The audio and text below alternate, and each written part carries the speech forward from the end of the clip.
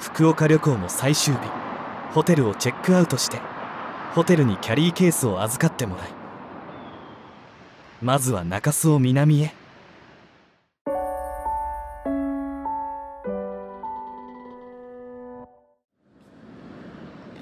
福泊で相橋の向こう側にアドバルーンが飛んでいますね。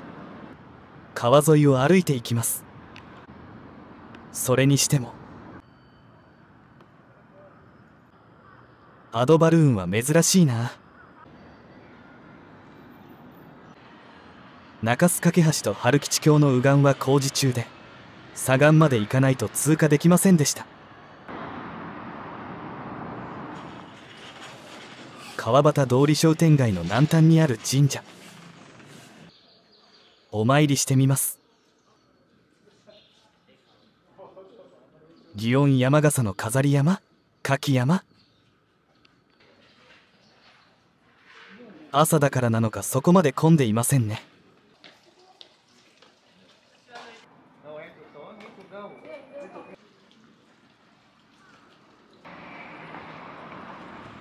喉が渇いたので給水タイム。見たことのないクリームソーダジュース。味は名の通りでびっくりするくらいの。クリームソーダ風味でした。続いて訪れたのは近くにあるふるさと館。明治や大正期の暮らしを紹介する施設です。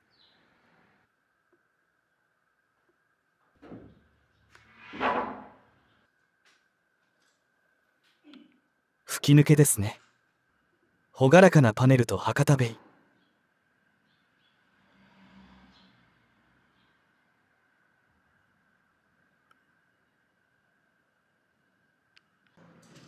建物は3つあって土産どころ。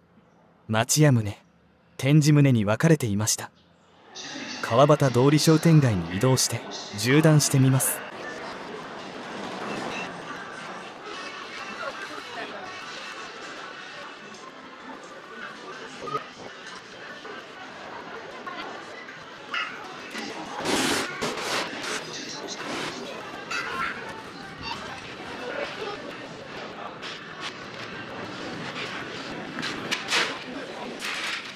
昨日までやっていたドンタクのステージが川の上に残っていますね。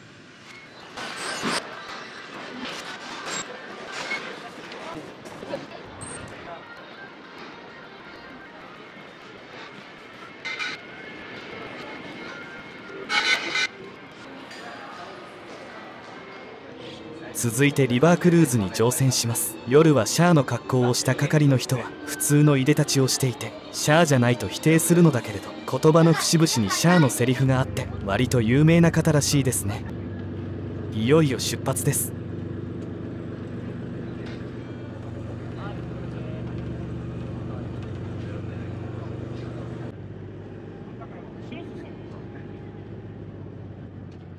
赤い線のルートで進むようです。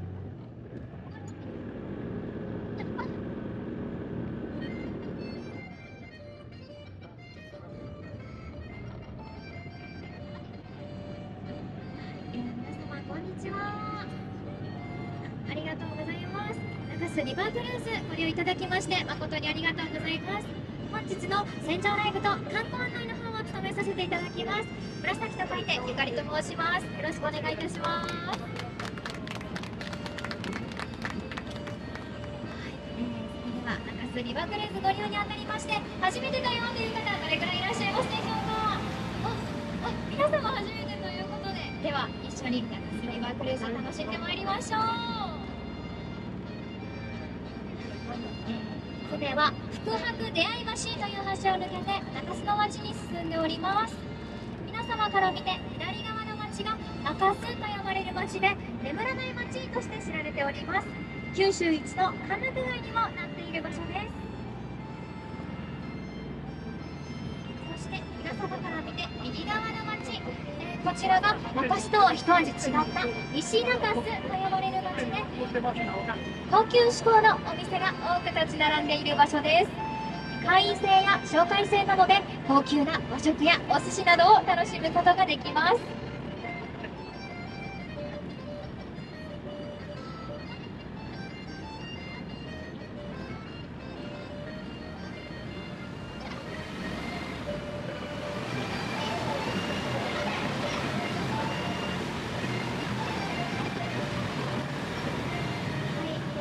を抜けた先の左側の黒いフェンスが矢印の場所をご紹介いたします。こちらが屋台村と呼ばれる場所となっていて夕方から夜にかけて多い時には約20軒もの屋台が立ち並ぶ場所となっております。福岡の餃子ラーメンおでん天ぷらなどを楽しむことができるようになっている場所です。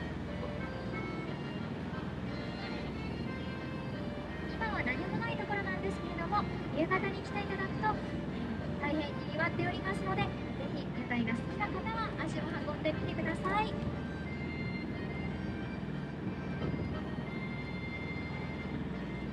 はい、えーそれでは前方のカラフルな建物についてご紹介いたします。こちらがキャナルシティ博多と呼ばれる場所で九州最大級のショッピングモールとなっております。中央にはプロジェクションマッピングや噴水ショーなどを楽しむことができる場所もございます。そして、えー九州から北海道までの有名なラーメン屋さんを寄せ集めたラーメンスタジアムもございますのでラーメンがお好きな方はぜひ足を運ばれてみてください、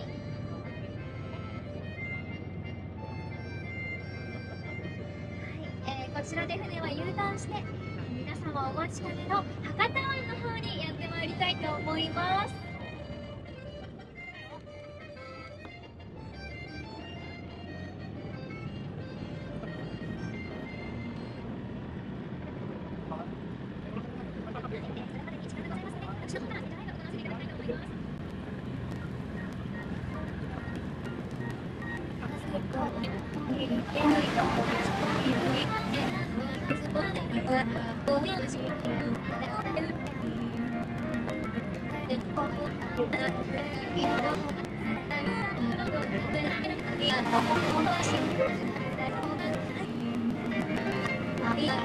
あ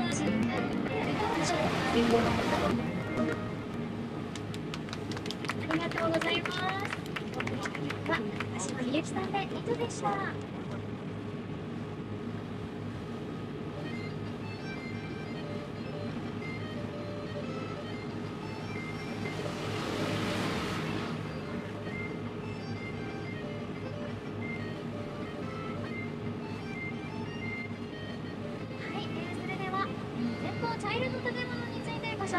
ます。こちらが福岡県立美術館となっていて外壁に天井博通りの模様が施してある美術館となっております。昔は図書館と美術館の複合施設だった場所とされております。開園当初は約59万人もの人を集めるツタンカーメン店で大変にぎわった場所とされております。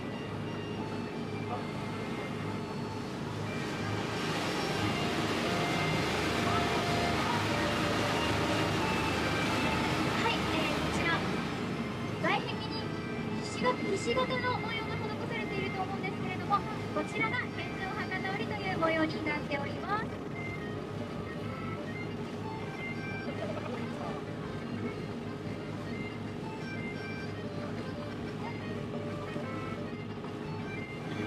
それでは前方の青い橋にご注目ください、えーこちらですね。うちのクルーズの最大の難所と言っております橋で今まで渡ってきた橋の中と橋が一番近い場所となっております。皆様立ちは危険ですので立ち上がらないように注意してください。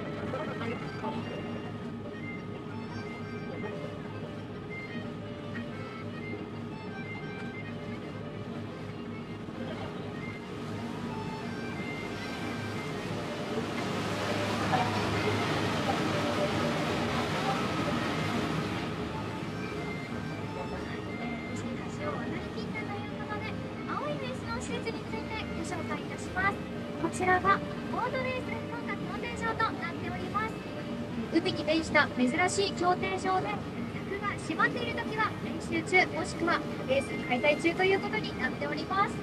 入場料は100円でベットするしない問わず実際に迫力のあるレースを楽しむことができる施設となっております。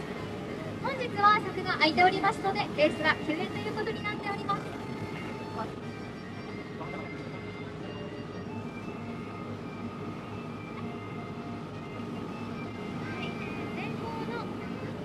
赤と白のタワーについてご紹介いたします。こちらが博多ポートタワーというタワーでえー本の6兄弟の末っ子とされております。通天閣や東京タワーといったタワーの設計通天閣や東京タワーといったタワーと同じ方が設計されておりますので、えーそれらに馴染みが深い色形をしております。70m 付近には無料でばれてみてください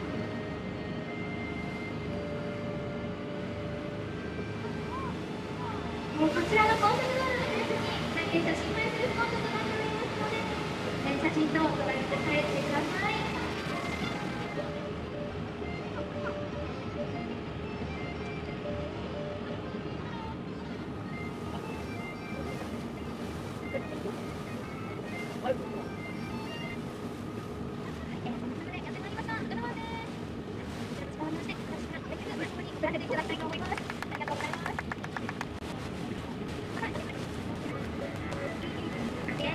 あ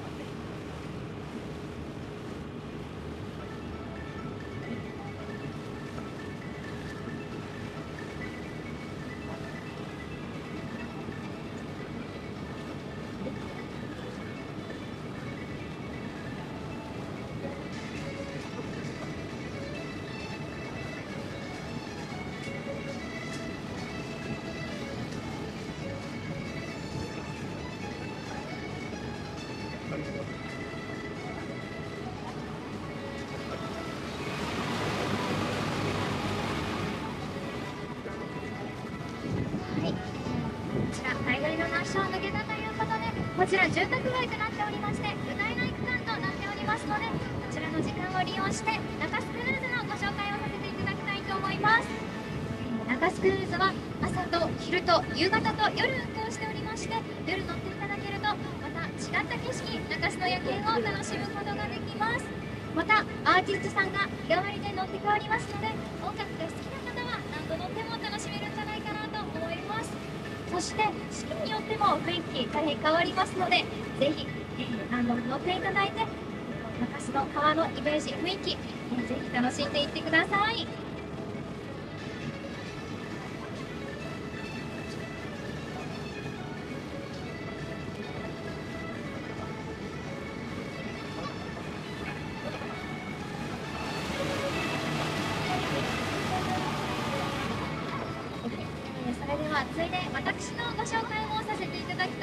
思います。私は、え YouTube や Twitter、インスタなどで活動しておりまして、えーまた活動しております。ぜひ気になった方はこちらの本も検索していただいて見てチェックしてくださると嬉しいです。また6月の最初の日曜日にはライブも決定されておりまして、えー興味がある方はそちらもお越しいただいてぜひ楽しんでみてください。りがとうございます。すいません、ありがとうございます。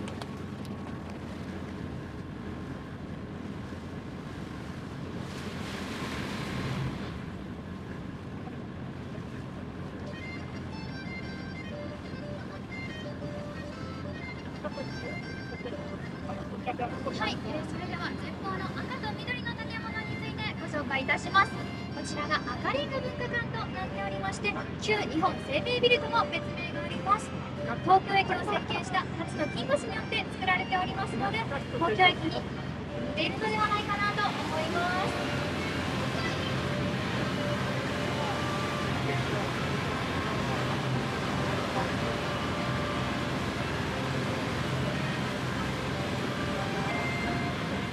はい、えーそれでは最後の建物をご紹介いたします。ちらの三角の建物シップスガーデン水上公園と呼ばれるもので1階がビルズ。世界一美味しい朝食として知られるパンケーキで有名なお店となっております。2階は無料で開放された展望台ございますので興味がある方は足を運ばれてみてください。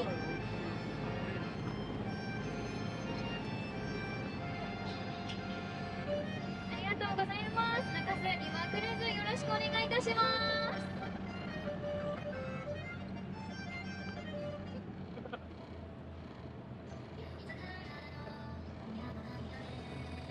はい、えー、30分の旅お疲れ様でした。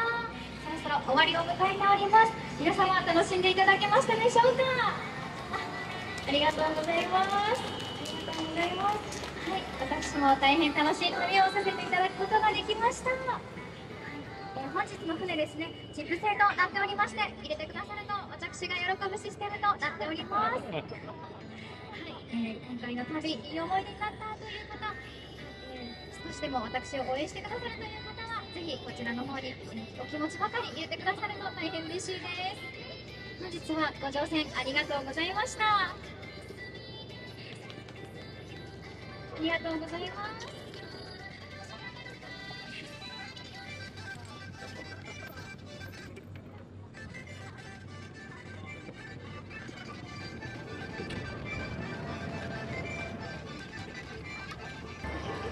降りた船は次の便に使用されるようです。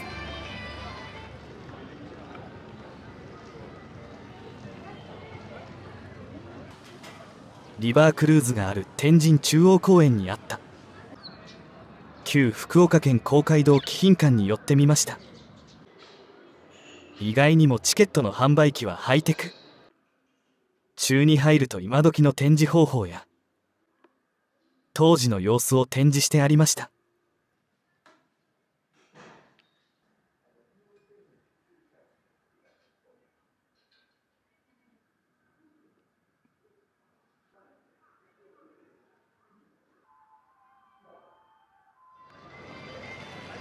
そろそろ中洲を出発することにします。ホテルに預けていた荷物を受け取って福岡空港へ移動します。次回福岡空港を散策します。